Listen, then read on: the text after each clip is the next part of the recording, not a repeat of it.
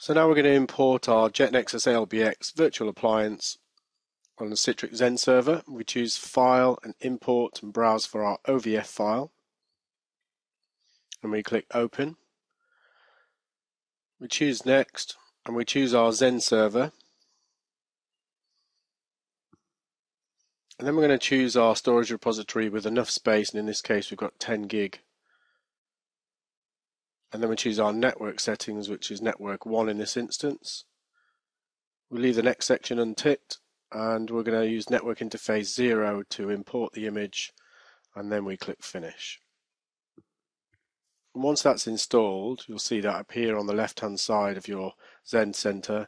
We can right click on the image we've just installed and click start and then go to our console to see that starting up. And we know when that's finished loading we get to the login screen. We can see that just down at the bottom. And we can log in with our username of, of admin and password of JetNexus. And then we can use the ifconfig command to see the IP address of the interface that we need to access.